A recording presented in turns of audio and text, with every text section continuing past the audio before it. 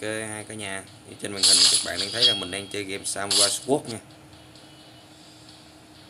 Ninja Slide ha.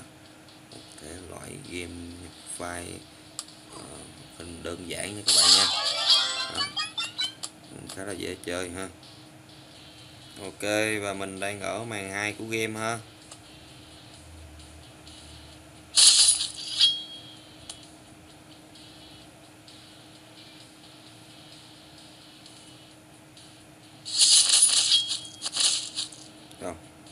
Chiếm từ xa không lợi hại các bạn.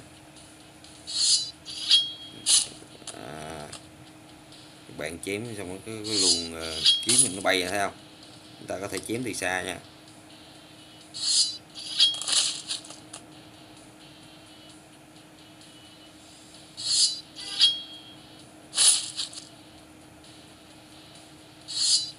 Chiếm từ xa cái này là auto win rồi.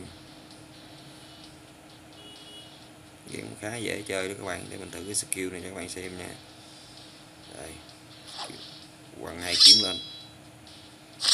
Đó, được hai người. Ừ, thay vì bắn súng từ xa này quét kiếm từ xa chém từ xa nha các bạn.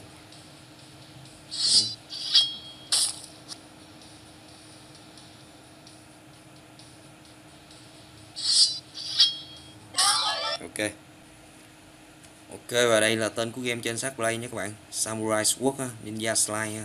thì cái phần chia sẻ ứng dụng game samurai sword ờ, trên smartphone android mình tới đây kết thúc ha. rất mong được các bạn quan tâm và ủng hộ kênh